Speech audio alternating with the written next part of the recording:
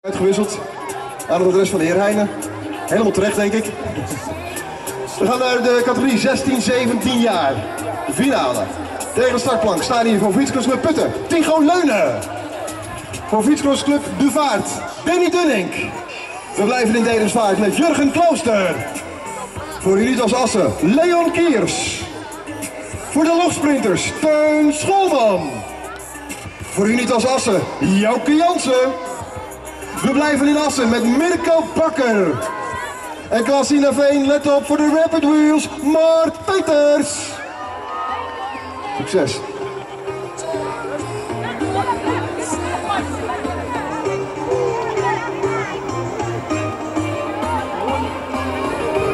Zijn de jongens, 16, 17 jaar, het gaat alweer wat harder. En is Peters aan de binnenkant die heel goed vertrokken is hoor. Peters van de Rapid Wheels, Mart Peters. En daarachter is het verrassend Mirko Bakker op plaats nummer 2. Bakker op 2 en dan gaan we naar de plaats nummer 113, Tigo Leunen uit Putten. Maar helemaal voorin is het Mart Peters van de Rapid Wheels, sponsored bij Fritz BMX, gaat hier aan de leiding. En dan is het eh, de 616, Mirko Bakker die niet opgeeft, dan zit er heel dichtbij. Mirko Bakker zit er in het achterwiel bij Peters. Peters, Bakker, kan Bakker nog dichterbij komen, dat moet nu gaan gebeuren. Peters natuurlijk op zijn thuisbaan, een licht voordeel. Hij pakt inderdaad de winst. Hij is Drents kampioen 2015, categorie jongens 16 en 17 jaar.